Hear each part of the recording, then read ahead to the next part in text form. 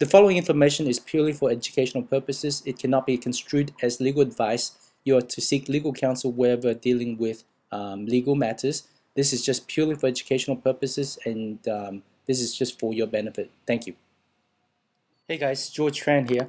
Working hard for you. Um, I'm working on uh, these pleadings for uh, petitions for ver verification of debt, else release of claim obviously my my training in legal matters have significantly improved since I got started in this process.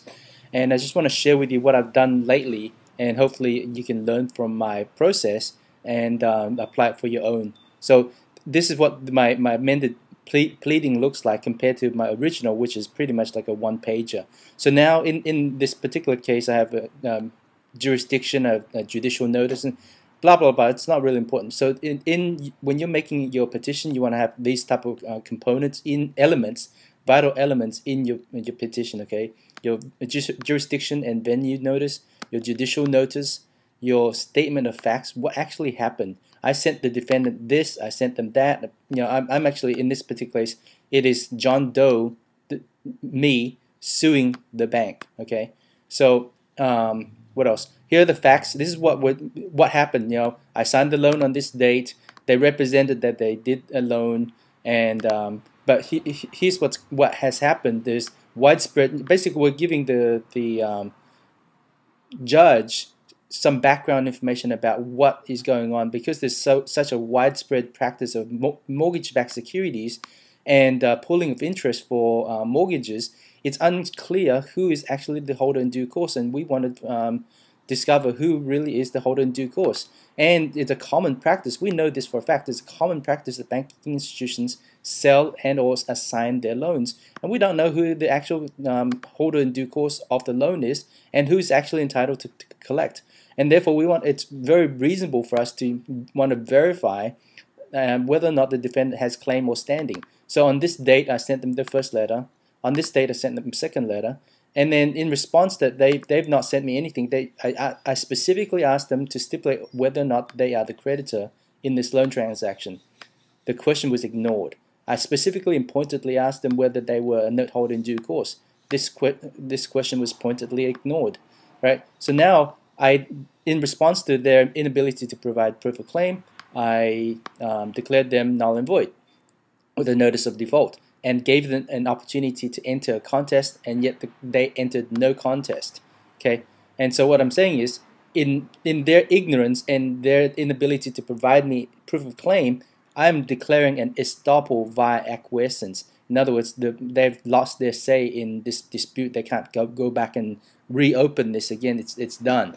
And so the course of action is basically thus, thus far I've been very reasonable in attempting to get straight answers from the defendant and yet the defendant still insists on collecting money from me and yet pointedly refused to provide valid proof of claim right? Despite me following proper rules and uh, civil procedures. And so I'm petitioning this court to make, render a judgment as to whether or not they have valid proof of claim. And if they don't have valid proof of claim to release all claims and make appropriate remedies.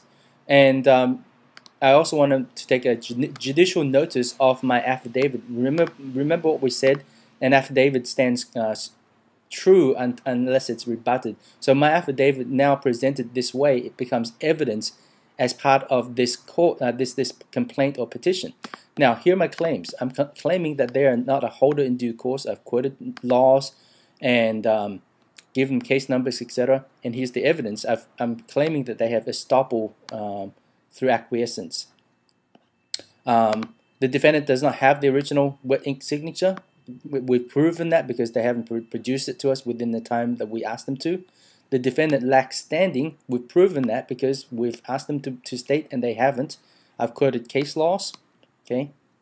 And um, what else? Right, so again, it's evidence and it's through estoppel through through uh, acquiescence. They, they can't bring this up again. They can't deny it.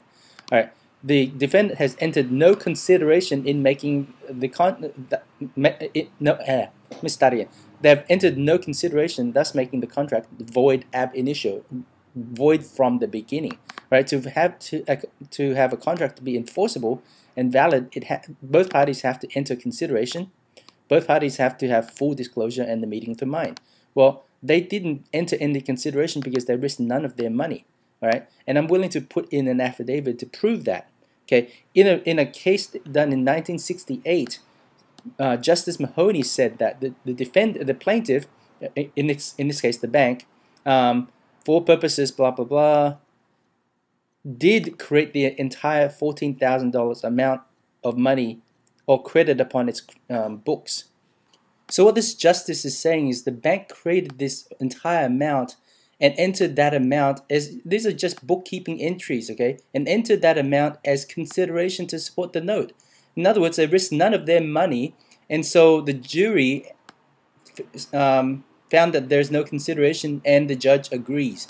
So I'm using this as quoted, although it's not something that the judge can specifically uh, is required to um, respect because it's in a different state. It, this is in Minnesota, right? In 1968 he still has to kind of uh, give judici- judicial notice to that and saying, well, you know, somebody did say that and it, it's true, and so he, he has to kind of pay attention to it. So we're saying that they didn't um, enter any consideration, and therefore this is not a valid contract. If you know that's one of the requirements, right? You have to have a consideration by both parties. If I told you to mow the lawn and I'm giving you hundred bucks, you mow the lawn, I give you hundred bucks. That's consideration, okay? So that's they didn't do the consideration, so there's no contract. The contract's void.